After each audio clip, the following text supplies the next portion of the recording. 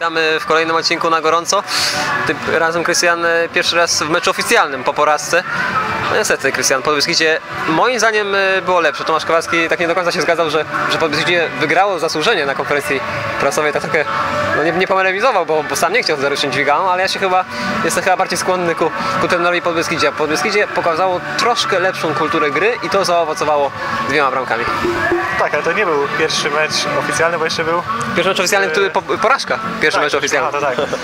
E, no to no tak, no tutaj dzisiaj Bytowia zaprezentowała się no, przeciętnie, no ja bym powiedział, bo denerwowało mnie coś e, bardzo tutaj w tym meczu dzisiejszym, bo przez nie rozumiem dlaczego cały czas musiała każda akcja być przegrywana przez li, linię obrony. To, to było tak, że jakby, nie wiem, piłka dochodziła do połowy boiska i tam nagle brakowało pomysłu i dalej e, jakby trzeba było cofnąć, wycofać tę grę i znowu gdzieś, gdzieś, gdzieś budować od tyłu, a potem e, znowu piłka do, dochodziła do środka pola.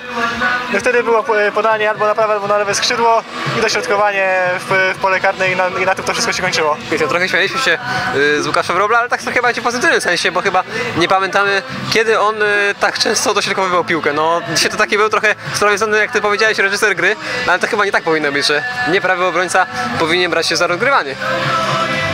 No właśnie, no dzisiaj no mówię, szwankowało rozegranie piłki, szczególnie po ziemi, bo tego, tego brakowało dzisiaj. E, głó- głównie dośrodkowania w pole karne na Surdykowskiego albo na kogokolwiek w, w mm, polu karnym e, Podbeskidzia, kto byłby w stanie przeciąć piłkę, czy to byłby Surdykowski, czy to był kto- by ktokolwiek inny.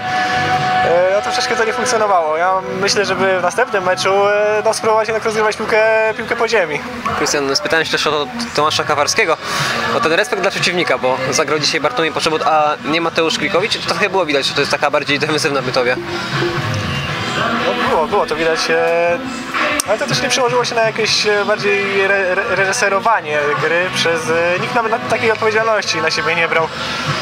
Nie było kogoś takiego, kto mógłby kogo można było pochwalić, że no on dzisiaj zagrał naprawdę dobry mecz e, w środku pola i ładnie rozgrywał piłkę. A może ja trochę się nie zgodzę z tobą. Dla mnie Jakub Serafin grał naprawdę dzisiaj dobrze. Tak, tak. A on z środka, do środka pola jest. No tak, ale jednak na przykład e, Poczobut czy, czy Mandrysz dzisiaj no, nie wyglądali, nie wyglądali na tyle dobrze, żeby może ich było pochwalić. No tak, właśnie chciałem powiedzieć też o Serafinie, który no, prezentuje się w tym sezonie na razie dobrze, naprawdę dobrze.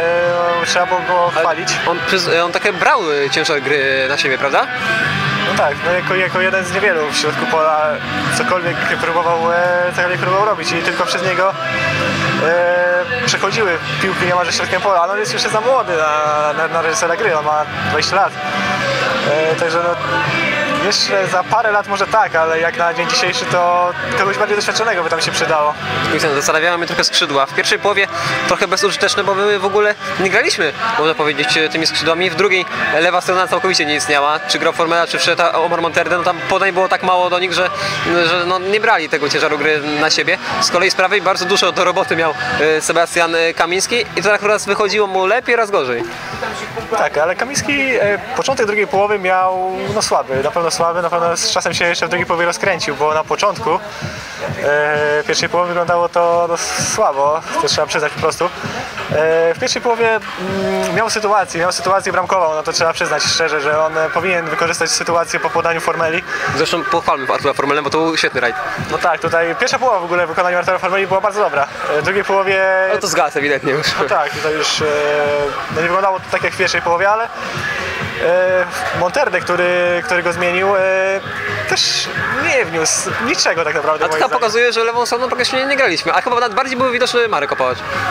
No tak, ale Marek Opała dzisiaj e, no, też mi się nie podobał. A ja powiem tak, przeplatał świetne interwencje, naprawdę świetne, z takimi prostymi zagraniami, e, błędnymi zagraniami. No, no, no właśnie, no dzisiaj e, najbardziej stabilny, przynajmniej w pierwszej połowie, był Martin Czech. W drugiej zdarzały mu się błędy, ale i tak e, w miarę ten poziom trzymał. No właśnie, ale czy ten drugi gol to nie jest wina Martina Czecha?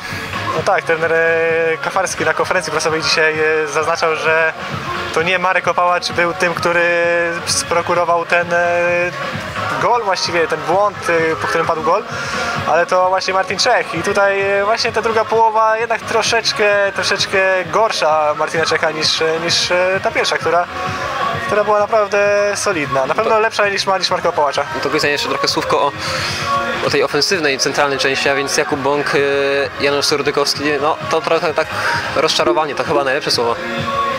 No, Surdykowski dzisiaj e, najbardziej można zapamiętać z tego faulu na e, Marku Sokołowskim. E, Brutalnego faulu. Tak, to było po prostu no, bardzo ostry, bardzo ostry faul. E, I Surdykowski cały mecz grał, bardzo, bardzo, bardzo ostro grał. E, no, czasami był, momentami był właśnie spóźniony, tak jak w tej sytuacji z Sokołowskim, gdzie no właśnie nie wiem dlaczego tam go, tam go sfaulował. Walczył o piłkę prawdopodobnie, no ale no, to był całkowicie niepotrzebny faul. E, Ogólnie Surdykowski dzisiaj średnio jestem, no co tutaj dużo mówić, po prostu zagrał tak sobie.